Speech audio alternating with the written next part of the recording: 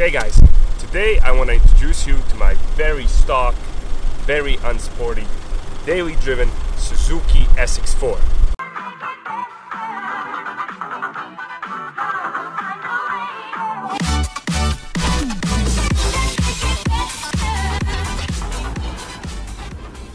You are probably wondering why I decided to waste your time today by showing you my my very very stock daily driven you know Suzuki car. Uh, it's got nothing special. There's no mods. The engine is stock. You know, it's not even a sports car. It actually it has roof rails. Now, what I wanted to do today is something that I, I uh, when I first first heard about it, I didn't think it is actually possible, and you know, I don't think it couldn't be done. I still haven't tried it, so in today's video, we're going to see if it's possible. And what I'm trying to do is I'm trying to measure my car's, you know, performance, actually to dyno my car by using just a phone app. Now, the name of the phone app is called uh, the the app is called Perf Expert. Now, I couldn't use my MR2 for this because I have you know modified the engine, I have tuned it a bit, you know, even removed some parts. So the car is no longer stock, and I do not know the actual you know output of the car until I measure it on a real dyno. Now, compared to my MR2, my, my Suzuki is 100% stock. I know the power output, I know the torque, it's 107 uh, brake horsepower and it's 149. Let me double check that. Nope, it's 107 horsepower at 5006 RPM and it's 145 newton meter at 4000 RPM. Now we are going to use this app to see if it if it can actually measure, you know, the horsepower uh, and the, the, performance of a car, and I'm going to compare it with these factory specification. So what we're going to do now is we are going to set up the app. It needs a lot of parameters, and I'm going to show you how to do that. So once you actually pay for the app and download it, the first thing you're going to need to do is, you know, log into the app. That's very easy and simple. You can even use your Facebook, so I'm going to skip that. The first thing you're going to need to do uh, is actually create your car profile and I'm going to show you this step by step because this is the most important thing for this app. It needs accurate, you know, accurate measurements, accurate parameters for this whole thing to work. Otherwise, it's completely useless. So, card nickname, that is not important. Uh, the year, the year of my Suzuki SX4 is 2007. The make, we already know, that's Suzuki, Suzuki, Suzuki. Come on, come on, come on, come on, come on, come on. Where is it? Su Suzuki. And the model is a SX4. There we have it. Okay? And the version, uh, my particular car is a two-wheel drive 1.6 liter. And there we have that thing. Okay, we are done with this step. Okay, and here is where it gets a little bit tricky. Now, I'm gonna click OK here, you don't have to read this. Now, the car automatically, you know, the app actually has a sort of its uh, database and it automatically picks up certain parameters. As you can see, it already knows the car weight, it knows the engine displacement, it knows the fuel type and the fuel tank capacity, but it doesn't know a lot of other things. For example, it doesn't know gear ratios, that is important, it doesn't know the pitch, that's actually just your suspension, it doesn't know the final drive ratio and it doesn't know this thing. Uh, this actually has to do a lot of with the drag coefficient and I'm going to explain that in just a few minutes. So, okay, the data on your car when it comes to gear ratios and stuff like that you can find online. As you can see I have here a little paper where I wrote down all the gear ratios. And now I'm going to enter the gear ratios. As we can see you can select speed and speed at 100 at 1000 rpm or ratio. We're going to choose ratio.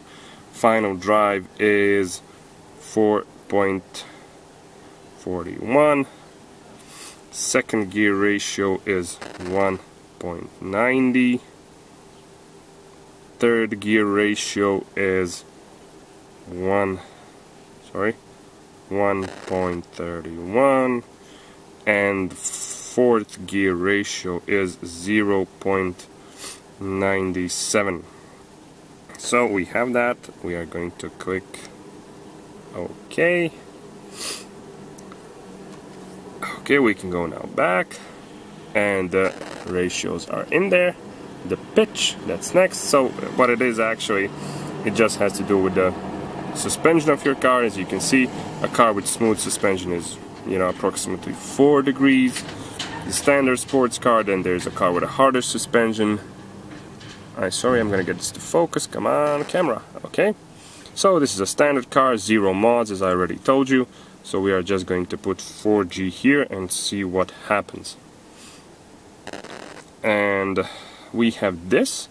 Now this is by far the most complicated thing. As you can see, this is the the uh, actually it's not your just your drag coefficient. This parameter it's your frontal area of your car multiplied by your drag coefficient.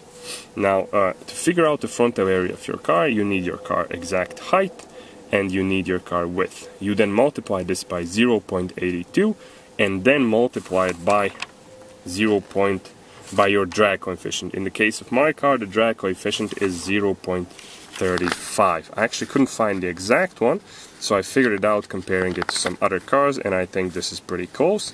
Now here's my measurement. This is the height times the width times 0.82 times come on 0.35 it's 0.77 and if you try to input something stupid you see the app already knows that's wrong and it says it needs to be from 0.40 so 0.77 is spot on. The app likes it and we can click OK. So here we have all the parameters and the car profile is the profile is complete. So we are now going to, we do not need this, we are going to go back. Okay, the next thing the app is going to ask you to do before measuring your car performances is going to be to calibrate your sensors. So we are now going to click on calibration. I don't know if you can see this, the camera is really mean today. So we are now going to the good stuff. And the good stuff is now it's asking us to select a test mode. We are now going to select dyno. We want to dyno our engine. Now select tuning setup, it's stock, the car is stock.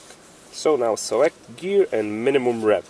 Now this is important uh, because the app needs you to be in this gear. It's going to start logging that data once you are in this gear.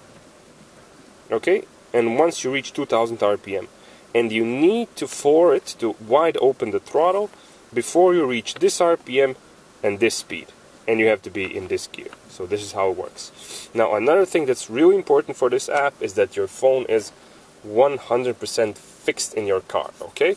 So it cannot use one of those uh, flimsy you know mounts that wiggle and you know do do nasty stuff. I have one of those mounts. I thought I was going to use this. You know this is a mount but as you can see this thing wiggles like crazy.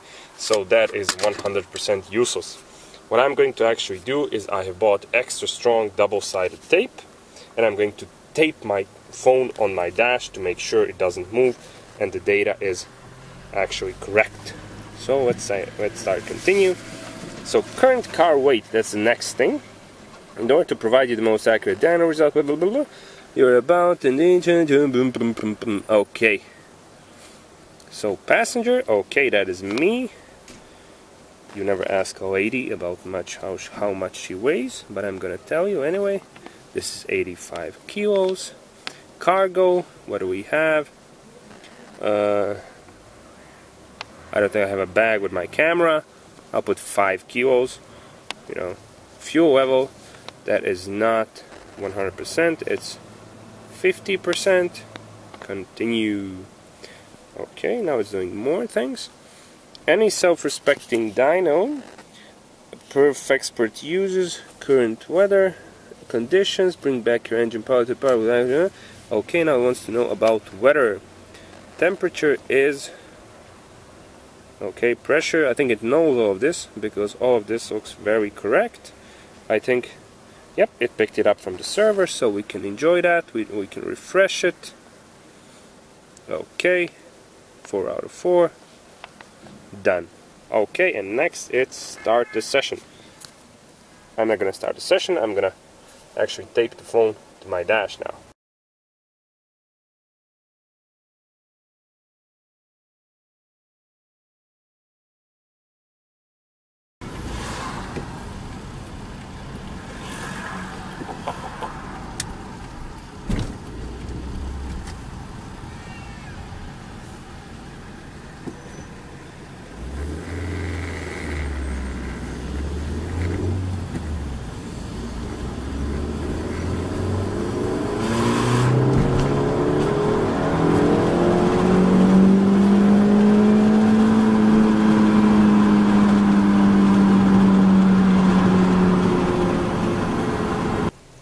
here are my test results.